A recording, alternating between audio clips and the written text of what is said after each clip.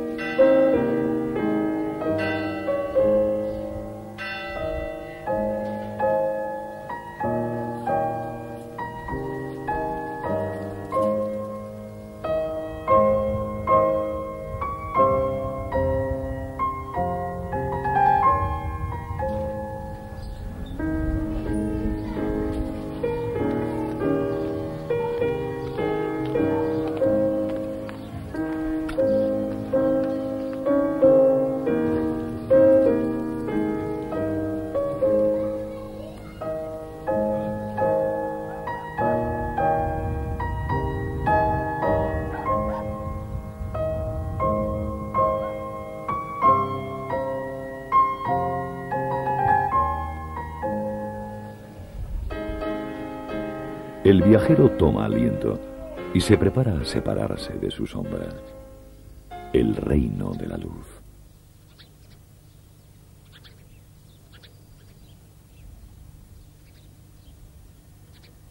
Nubes vanidosas o tímidas reproducen sobre su cabeza rutas de antaño. Bajo ellas, montañas sagradas y cimas trepadas por castillos miradores inalcanzables para las aves y llanos subrayados de roca y aceite, valles fértiles en la intimidad sabrosa de la tierra y ríos santuarios.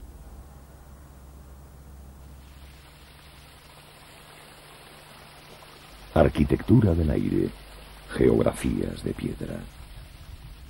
Un asedio a las cumbres. La mirada y la voz eligen adjetivos para nombres extensos, convertidos en triunfantes protocolos.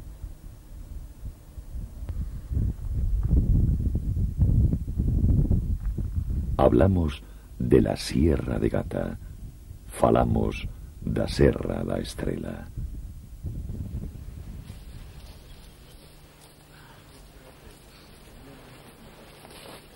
Viaje entre dos países por sendas de Extremadura y de montañas beiras. Aquí vuelan los pasos para surcar caminos cifrados, recorridos preguntas cuyas respuestas son sinuosas como las mismas calles.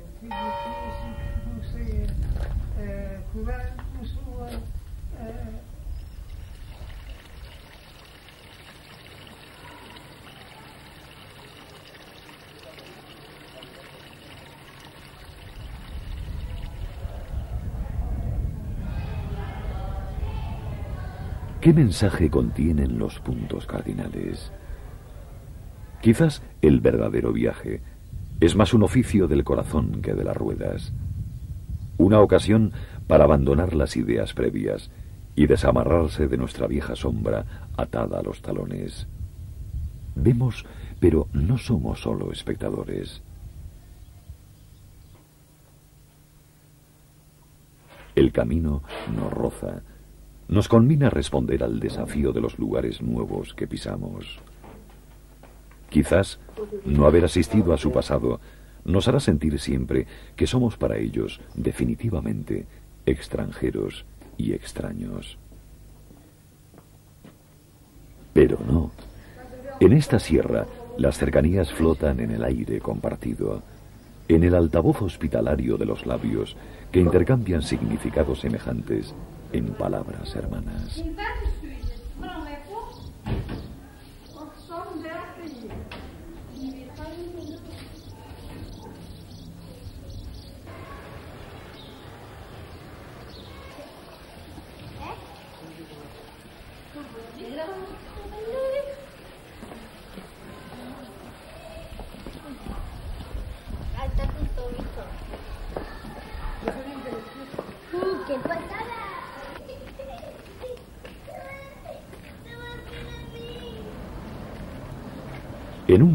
Y en otro, los sonidos se acercan hasta hacerse blancos y familiares, verdes y sensatos, azules y tímidos, como las propias nubes que recorren las montañas de Gata y la Serra da Estrella, fundiendo las laderas con los valles. El viajero se para. En el reino de la luz, un único horizonte.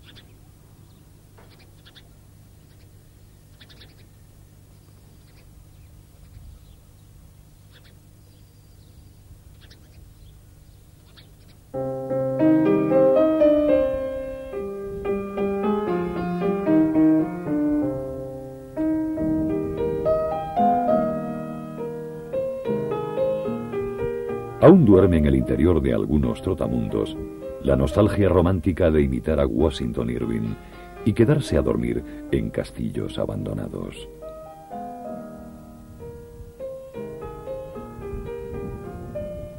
En torno, las casas se yerguen sobre el cerro. Han resistido durante siglos ataques deslumbrantes y brutales lisonjas.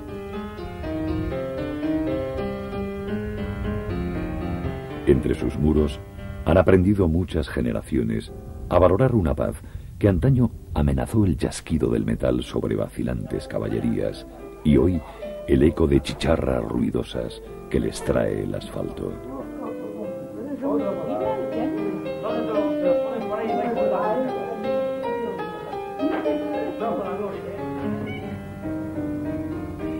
No es el anhelo de cada vagabundo recalar en la ciudad del nómada una esquina de bosques, un archipiélago de conversaciones y vino que a todos acoge.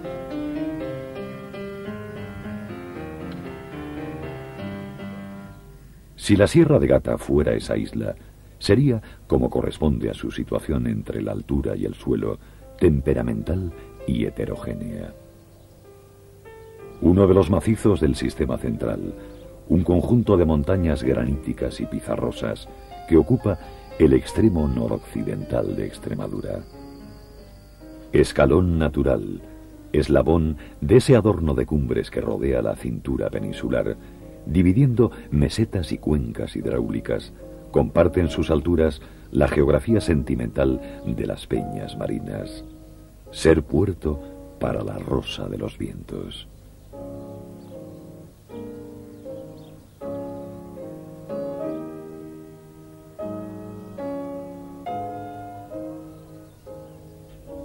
Cada viento amasa los rasgos que han creado a lo largo del tiempo el medio físico y natural que la caracteriza.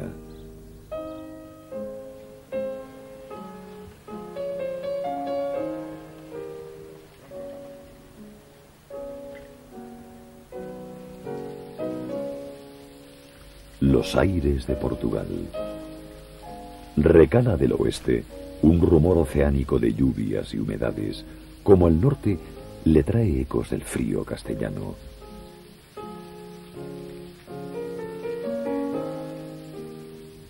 Como une el este a la vocación continental el olor de la jara, o el viento sur, la cantinela calurosa y sedante de la penillanura.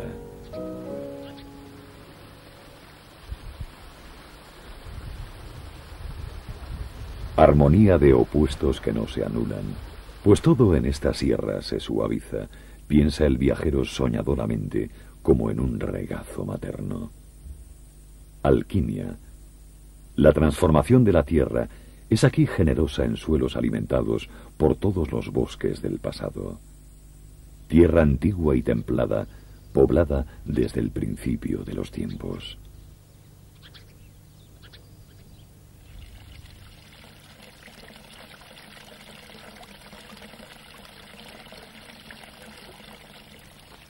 El viajero abandona su ensoñación y respira la luz del presente.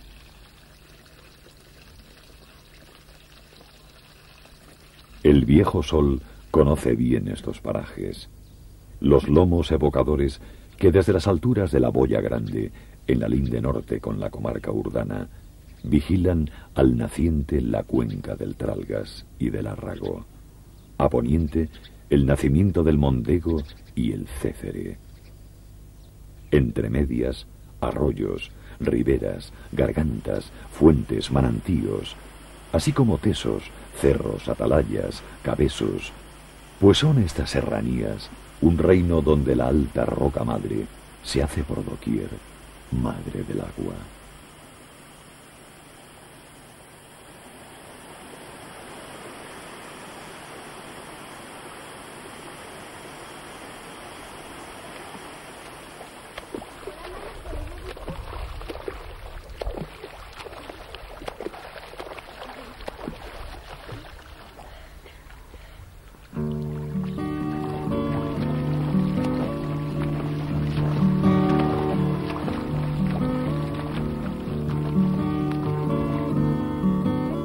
Aunque el sol nada sabe de estas cosas, los suelos que aquí baña su luz fueron divididos por las demarcaciones políticas humanas desde que éstas nacieron con la frontera entre los reinos de Portugal, de Castilla-León y sus extremos.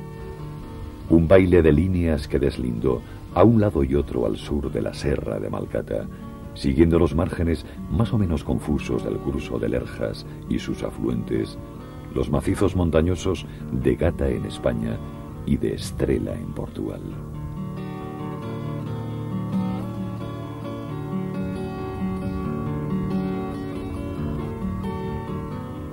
Estrela, estrella. Difícil encontrar un apelativo más poético. Para el país vecino, son estas sus cimas más altas, al suroeste de la ciudad de Guarda se alzan en el corazón de Montañas Beiras, nombre tradicional del territorio entre dos grandes ríos, el Douro y el Tello, que hoy forman las provincias de Beira Alta y Beira Baixa. Entre ambas, destino del visitante por antonomasia, la Reyau de turismo la Serra la Estrela, vigila la escarpada belleza de buena parte de la Beira Alta y busca al sur la cadencia de un paisaje ondulado de fincas y de esas.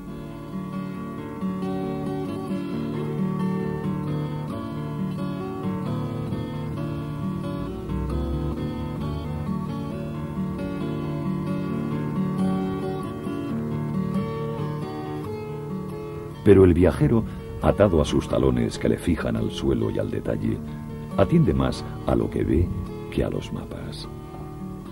Cuando se cuestiona por las villas de la Serra da Estrela, aparece Manteigas, un bálsamo de casas encaladas y tejados de tejas rojas junto al curso del río Cécere.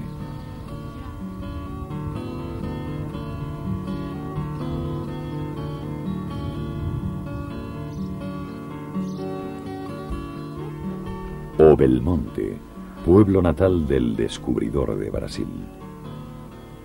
Al pie de su castillo del siglo XIII, las calles cuentan que aquí se guardan trazas de una de las mayores comunidades judías de Portugal. Entre sus descendientes, más de 120 familias continúan en la localidad. Según los archivos históricos, muchos continuaron practicando su religión en secreto, pese a las persecuciones de la Inquisición. De hecho, la destrucción de sus sinagogas como cualquier otra persecución contra la libertad de conciencia, no impidió el culto que perduraba en pleno siglo XX, hasta la década de los 70, cuando aún una comunidad hebraica se reunía en una casa solariega de Belmonte.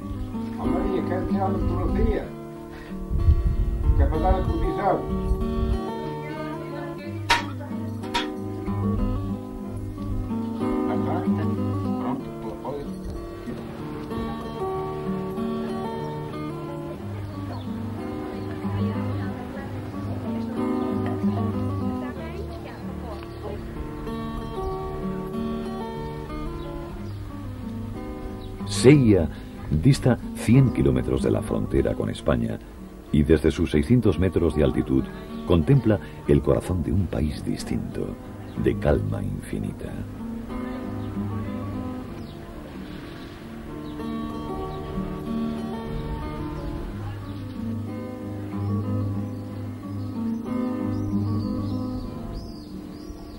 Un espíritu al que más pálidamente se suma la industrial Gouveia, que apenas esboza el ambiente serrano que antaño constituía su encanto.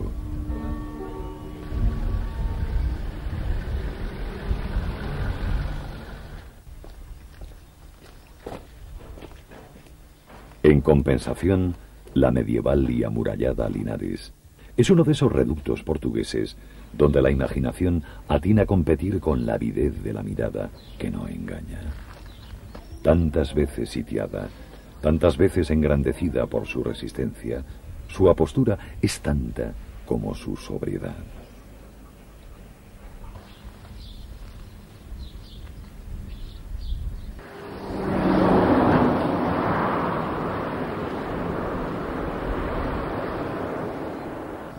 Covilla pronuncia pendientes. Las calles tienen vistas a las llanuras, así como a los riscos y despeñaderos y a la cercana Peñas da Saúde en el corazón de la sierra.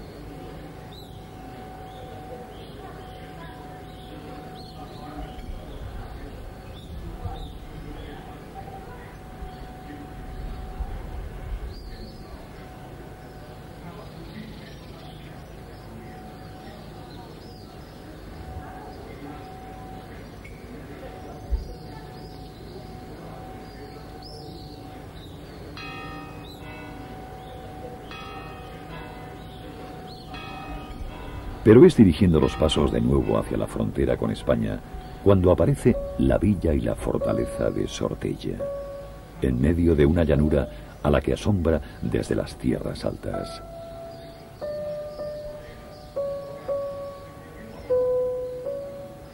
Sortella está envuelta en un embriagador halo de misterio. De origen hispano-árabe, fue este el primer castelo roqueiro que se construyó en esta comarca. Andar por encima de sus muros, pisar sus calles empedradas, más que abrir un hueco en el tiempo, es un reproche a la prisa del visitante.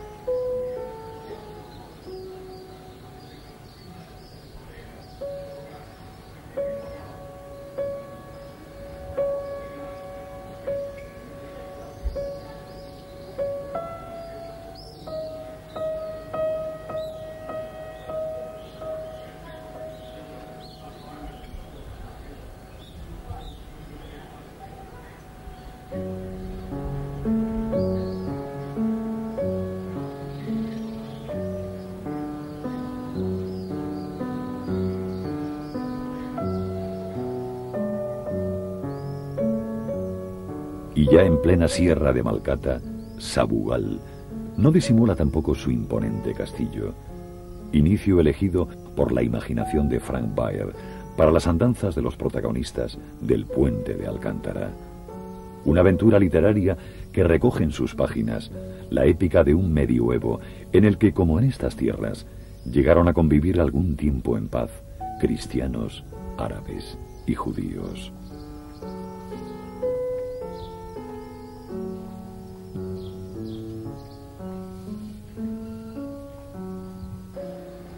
Los llanos de la Beira Baixa contrastan con la más abrupta decoración del paisaje de gran parte de la Beira Alta. Desde Castelo Branco, la capital de la Baixa, o desde Penamacor, la avidez por el vértigo de la antigüedad conduce a Monsanto, considerado uno de los primeros núcleos poblados de Portugal y hoy en día otro de los inverosímiles pueblos de piedra, de la que se ha servido para construir sus casas en calles excavadas en la roca.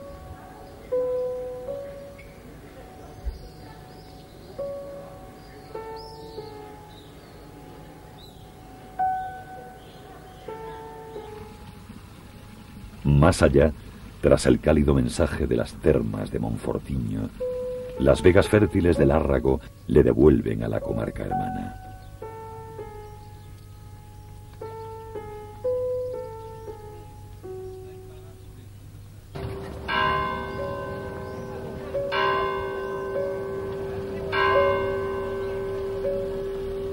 Un lado y otro de una de las fronteras más antiguas de Europa, la diferenciación comulga tonos comunes.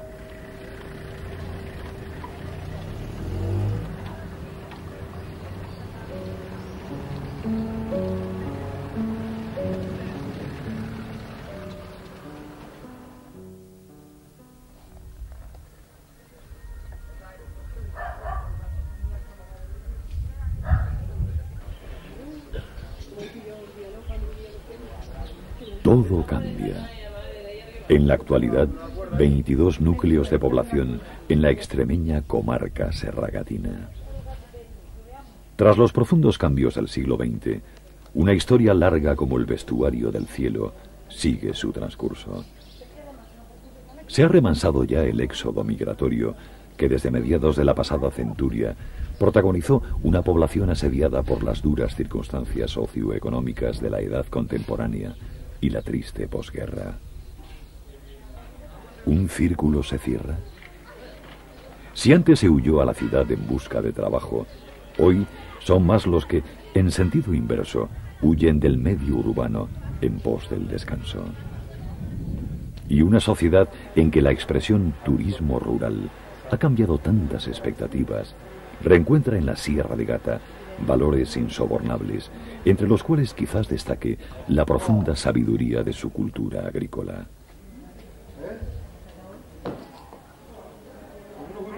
Sin sentimentalismos, el apego a la tierra de buena parte de sus habitantes confiere todavía a sus campos ese aire casi mágico de cuidadosos jardines, de detalles que pueden escapar al transeúnte apresurado, pero hacen las delicias del viajero, atento a la huella de las manos y su esfuerzo.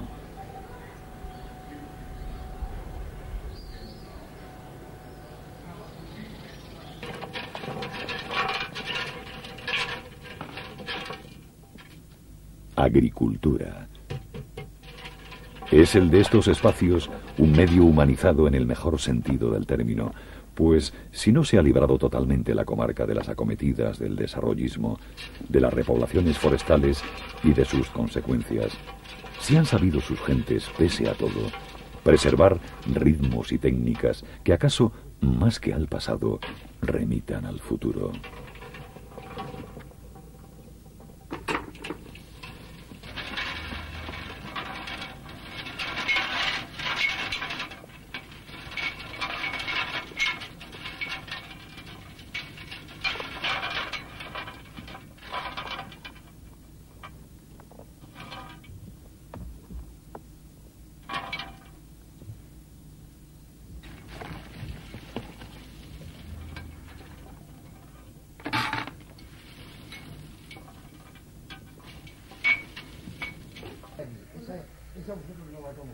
¿Un círculo se cierra?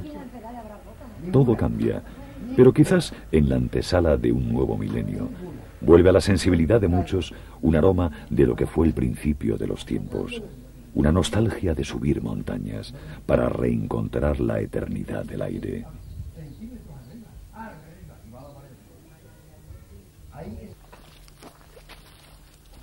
Vi un cielo nuevo y una tierra nueva. Alguna vez fue así, y con los primeros seres humanos que abrieron el horizonte a sus miradas, empezaron a acumularse los pasos para nacer veredas y caminos.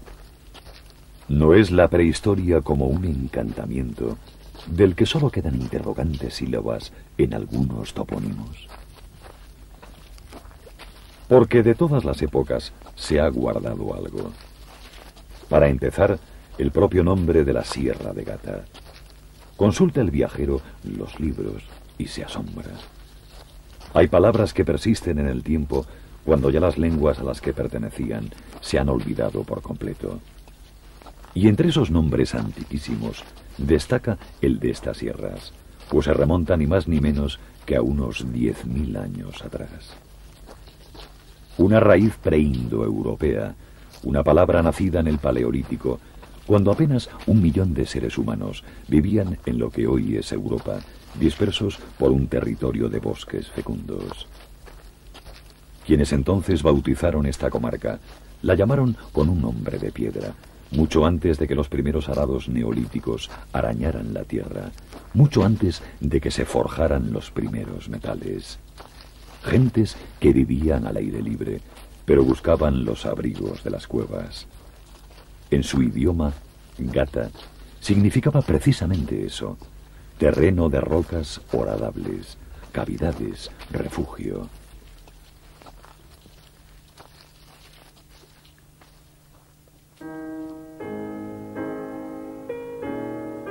El viajero comprende que estas tierras vieron muchos hogares antes, cuando la luz era más joven. Los hallazgos materiales, como el cincel neolítico de Cilleros o las estelas funerarias e ídolos de la Edad de Bronce, han sido más fruto de la casualidad y del interés de los actuales habitantes que de la planificación arqueológica, y duermen en muchos casos lejos de su lugar de origen. Durante innumerables generaciones, la vida se sucedió ligada a los recursos generosos de la sierra, a los cursos del agua y a las atalayas naturales.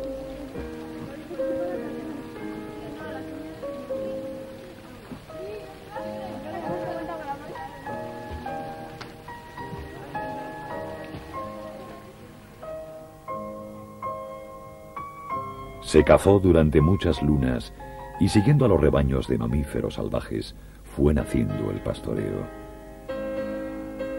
Se recolectaron raíces y frutos durante muchos soles, aprendiendo a aprovechar los recursos naturales. Llegaron nuevas semillas, técnicas e influencias culturales. Fueron y vinieron pueblos diversos a lo largo de siglos.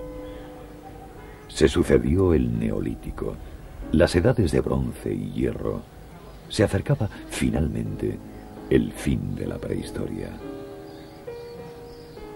Una prehistoria a la que dieron fin en los libros las legiones de Julio César, venciendo la resistencia a los reacios a someterse al poder del que pronto sería imperio romano, a ceder sus tierras y explotaciones mineras.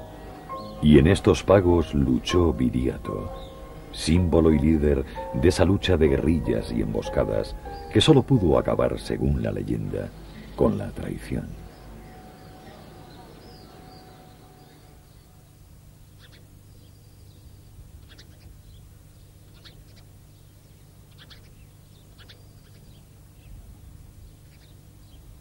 Pero, ¿qué sabemos realmente del pasado?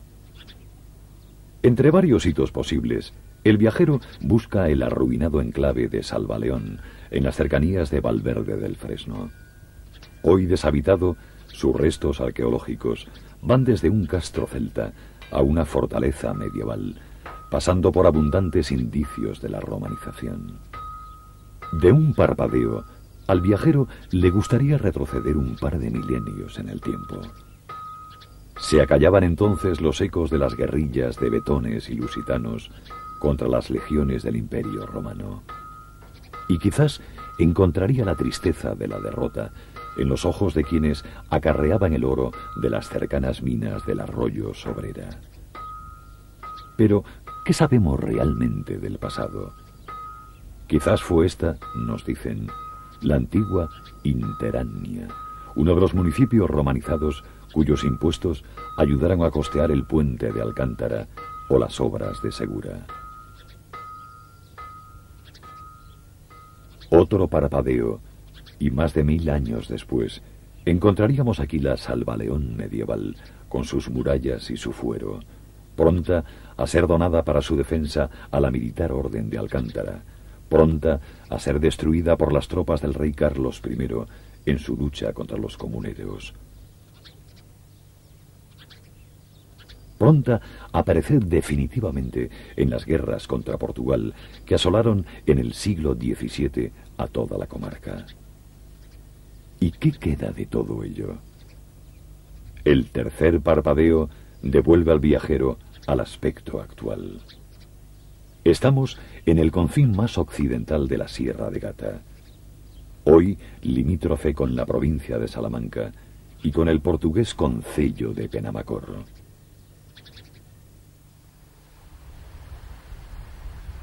Y si el de Salvaleón ha sucumbido al olvido del ayer lejano, al abandono impuesto, aún son muchos los núcleos de población que, en una red de carreteras contemporáneas, han superpuesto milenios, siglos y décadas hasta ofrecer al viajero el enigma de su aquí y de su ahora.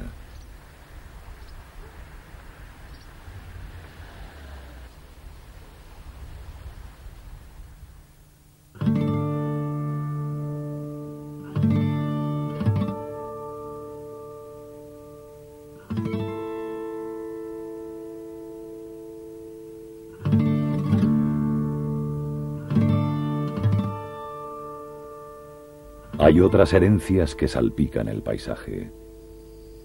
La tipología constructiva de los tradicionales zaurdones o chafurdoes, con su planta circular en muros de pizarra o granito, techados con falsa bóveda y recubiertos de tierra o barro, conserva una reminiscencia de las antiguas viviendas celtas, ligadas al modo de vida seminómada y trashumante de cabreros y pastores. Y es que, aunque la colonización romana diera al territorio una nueva organización en torno a las explotaciones agrícolas, las vilae, la continuidad de los usos y costumbres en estas sierras ha hecho de su verdadera historia, más que sucesión de etapas políticas, acumulación de formas de vida.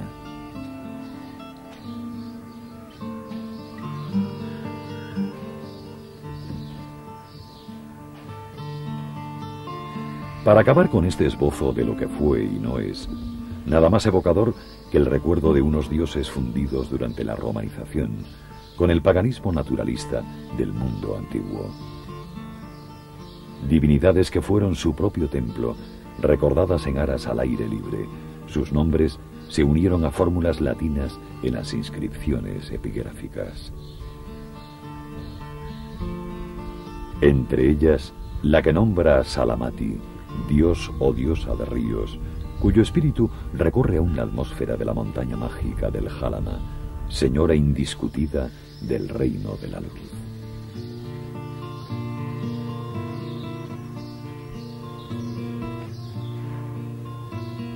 Desde la romanización, la creciente importancia del mundo rural en el Bajo Imperio y lo que fue el esplendor del medievo empezaron a diseñar lo que llegarían a ser las tierras de la Sierra de Gata. Pequeño corazón verde y azul, terroso y pardo.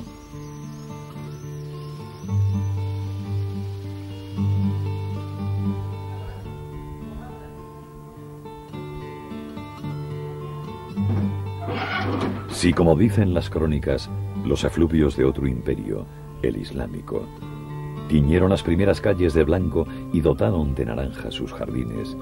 A partir de los albores de la Edad Moderna, llegó el despuntar de los grandes edificios civiles y religiosos, y la última etapa de la historia, en gran medida, labró un mundo que las últimas generaciones han visto transformarse.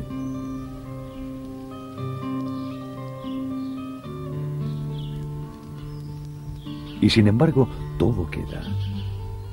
Cada uno de los escalones de la historia común y de la idiosincrasia de los valles ha dejado un aroma propio para fundirse en los matices que asaltan al viajero al recorrer sus poblaciones.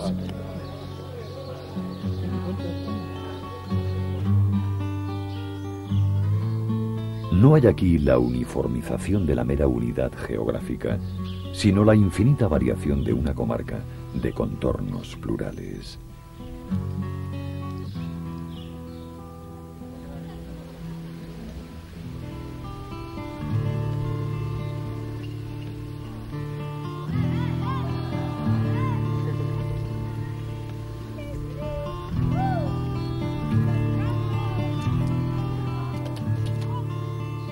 Y aquí y allá, cada nombre propio contiene retazos de un pasado abigarrado que se niega a dejarse encasillar en el orden cronológico de los libros, pues es un mosaico de retazos vivos tendidos en el aire.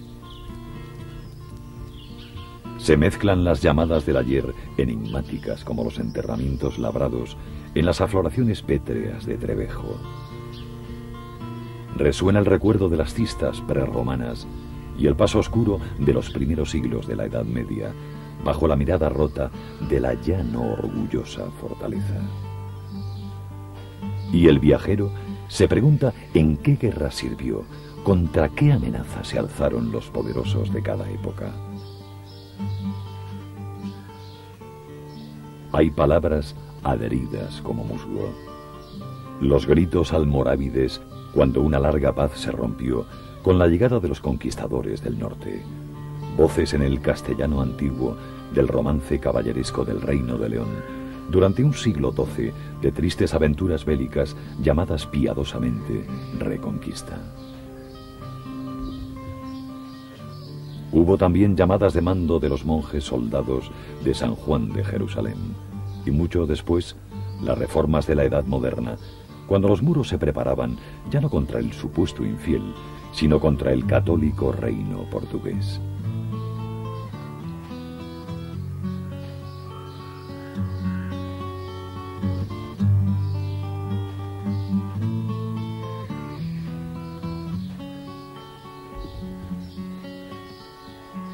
Una historia común a las torres de la comarca, como las del castillo de Santibáñez el Alto, la singular población que fue antaño San Juan de Mascoras, símbolo de enfrentamientos como el enconado pleito que sostendrían los templarios en 1217 por las posesiones que consiguieran un siglo atrás sus espadas.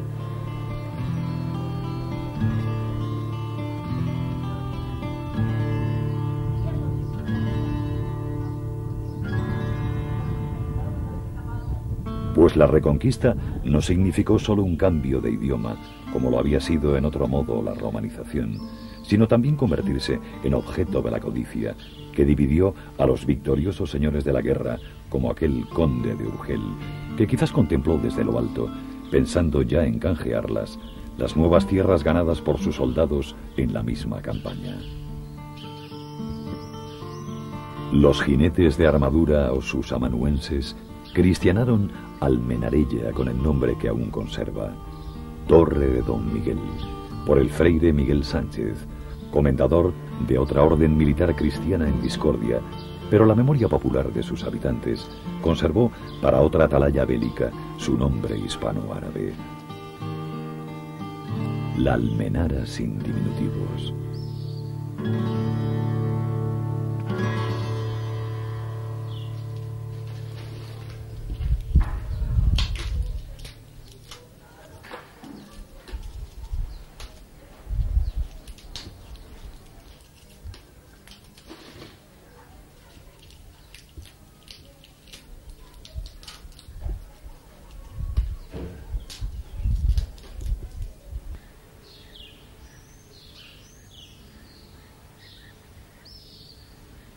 Cuatro encomiendas consiguió finalmente la Orden de Alcántara en este territorio. Desde el siglo XIII, los amanuenses copiaron los nombres de los nuevos señores, como el que debe aún hoy Hernán Pérez, y también las condiciones ofrecidas para traer nueva mano de obra a las tierras diezmadas.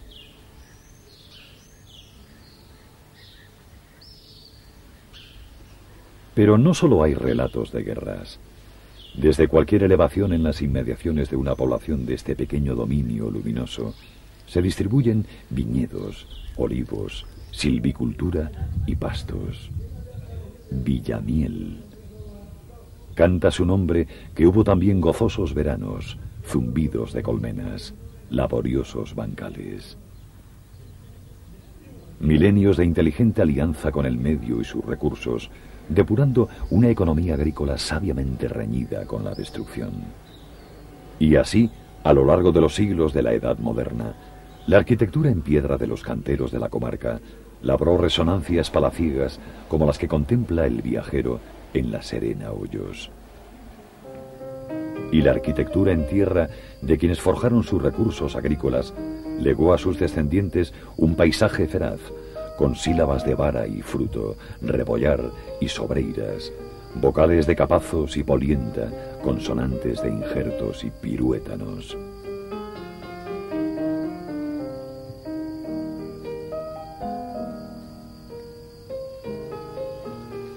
¿Qué significa hablar hoy de amor a la tierra? El viajero no lo sabe, pero intuye un tributo a la madre naturaleza, señora de tantos dones en esos apodos vegetales. De Valverde del Fresno a Robledillo de Gata, de Acebo a Perales del Puerto. Testimonian aquí y allá esa otra cara del reino de la luz, la del bosque autóctono y la valla de Acevedas. La de una vegetación domesticada, pero jamás envilecida. La de una biodiversidad capaz, sueña el viajero, de triunfar sobre todas las amenazas.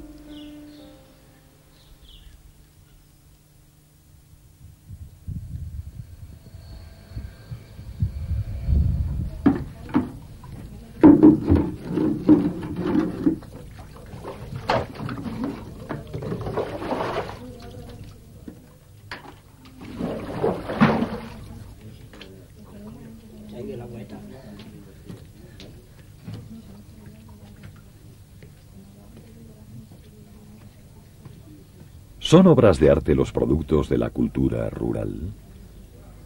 Dicen que no, quienes, creyendo en tan rimbombante palabra, se aplica solo a lo superfluo, o se niega por sistema de lo que tuvo utilidad práctica y nació en las manos de un artesano anónimo. Herramientas. Un mundo perdido que alcanzó sus postrimerías en la edad contemporánea.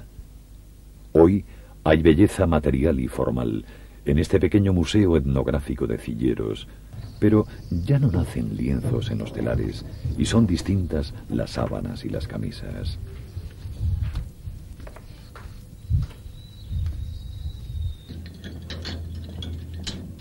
Artesanía. Símbolos de pervivencia, las encajeras de acebo, como las de Villas Buenas de Gata, hacen cantar la madera y el hilo ocupadas en una labor dificultosa que enriqueció antaño el lino de los ajuares domésticos, parecen al viajero una metáfora del trabajo solidario de innumerables generaciones. ¿No representa la labor de sus dedos el propio entramado tradicional de la comarca?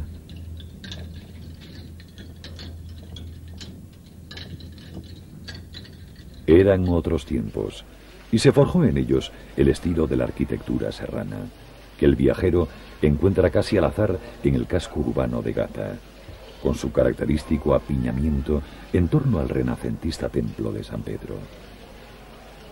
Partía de la zona alta de la población el camino del puerto de Castilla, una más entre la red de vías que comunicaban entre sí con el exterior los pueblos de la comarca. Caminos para animales de carga. Allá en el siglo XVIII decidieron las autoridades del reino crear aquí una nueva aduana que, junto con las ya existentes en otros puntos de la comarca, ayudara a fiscalizar un comercio secular con el vecino Portugal. Comercio. Al norte se iba en pos del trigo de Castilla, siendo este uno de los pocos productos que importaron regularmente los pueblos serranos a lo largo de la Edad Moderna.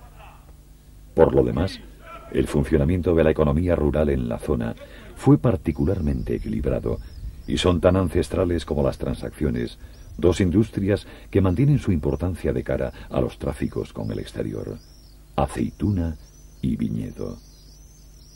Para toda la Sierra de Gata fue la producción de vino principal fuente de ingresos hasta el siglo XIX, cuando una plaga casi bíblica, la filoxera, exterminó gran parte de las cepas. Desde entonces, además de ir recuperando los devastados viñedos, los vecinos ampliaron unos olivares que hoy día ocupan más de la mitad del minifundista terreno de labor. Por eso, más que un desastre casi olvidado, el viajero prefiere recordar la alegría de la aceitunera, modelo de recolección comunal que ocupó durante siglos todos los brazos. Hasta el siglo XX, una fiesta fundamental para la sociedad de los lugares. Entre la multitud de testimonios posibles, recuerda el viajero solo una copla. Apañando aceitunas se hacen las bodas. Quien no va a aceitunas no se enamora.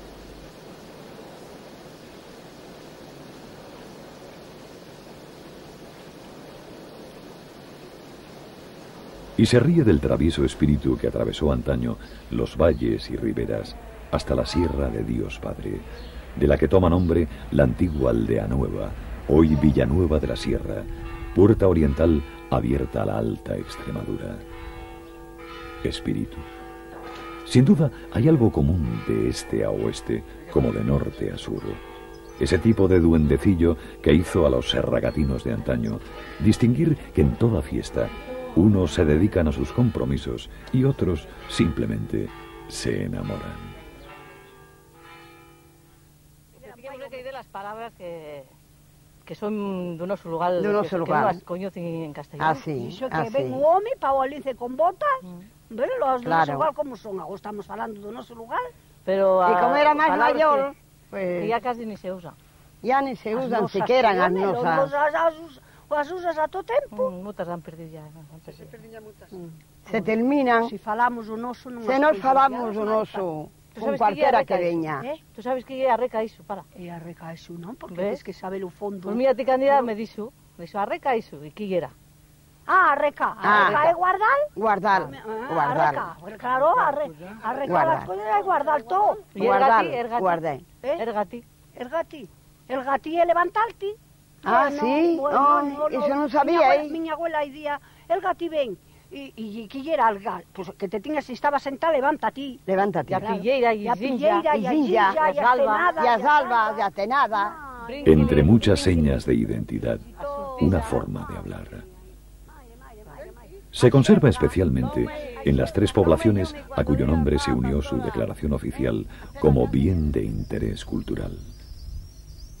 Para deleite de los especialistas que, desde los años 60, se ocuparon de estudiar las falas de Valverde del Fresno, San Martín de Trevejo y Eljas, fue imposible reducirla sin más a ninguna de las dos lenguas reconocidas oficialmente en esta zona de la península, el castellano o español y el portugués.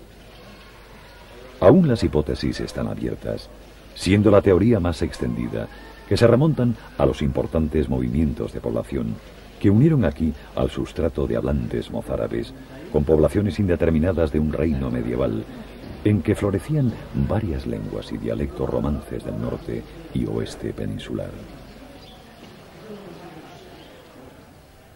En fin, el Valverdeiru del Verde Valle Valverdi, el Mallegu de San Martín de Trebellu y el Agarteiru de As Ellas son aún, como otras particularidades lingüísticas de la comarca, objeto de estudio y apasionamiento por parte de quienes investigan la palabra humana.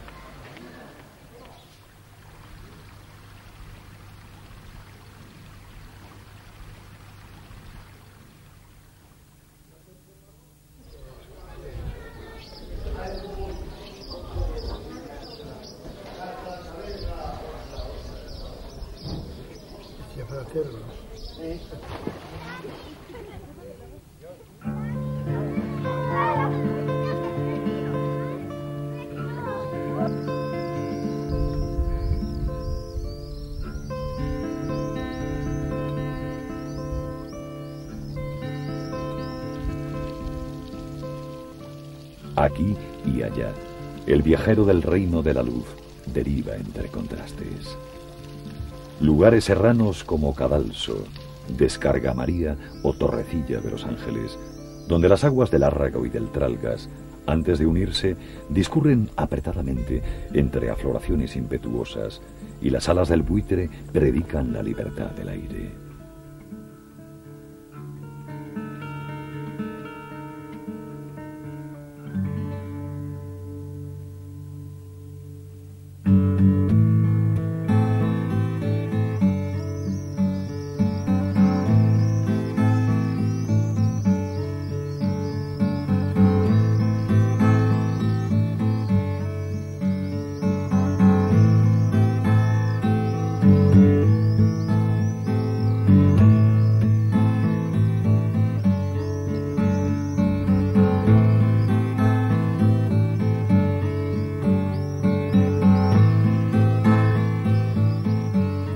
Lugares de vegas terciarias como la joven de Gaviana, la moeda de gata o la propia moraleja, troqueladas por la influencia del regadío. Al igual que la propia sociedad, el entramado de los ríos, entre serranías y arroyos de montaña, fueron sedimentando en la última era geológica sus fértiles arcillas en el confín meridional más llano. Una geografía humanizada cuyas facetas se complementan como la vega a la ribera.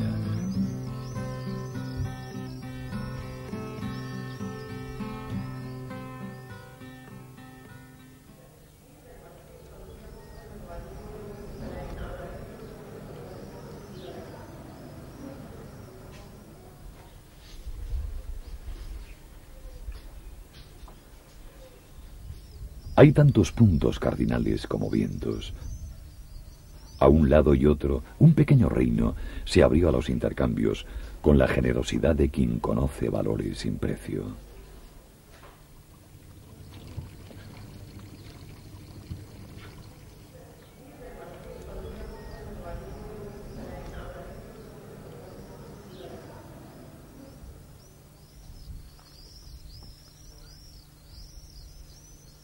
En el vestuario azul y blanco del cielo, la belleza fugaz baila el ritmo del tiempo. Poco a poco, el viajero se despide de su sombra, pues prisa y desaliento no sobreviven largamente en el interior de la luz. Invisible, la fuente de la visión le rodea por todas partes, hecha no solo imagen y perfiles, sino ante todo vida en cualquiera de sus formas, acción colectiva y célula de milagrosa fotosíntesis, fauna y tronco, herbácea y sotobosque.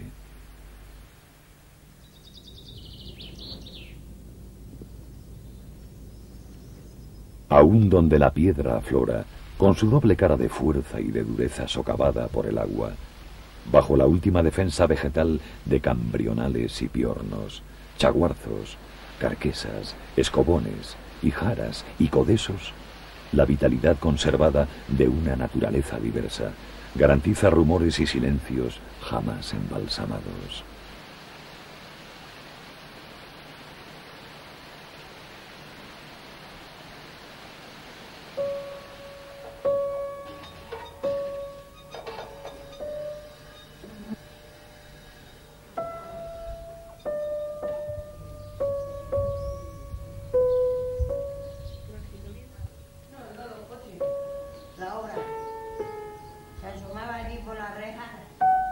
Bajo la pauta de lunas y trabajos.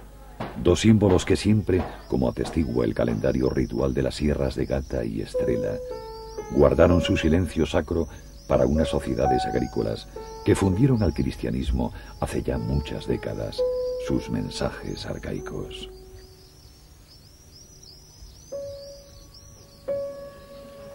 Y en los lugares que habitaron antes y después de cualquier viaje, prosigue una incesante celebración jubilosa para el más antiguo de los milagros, vivir de tierra y luz.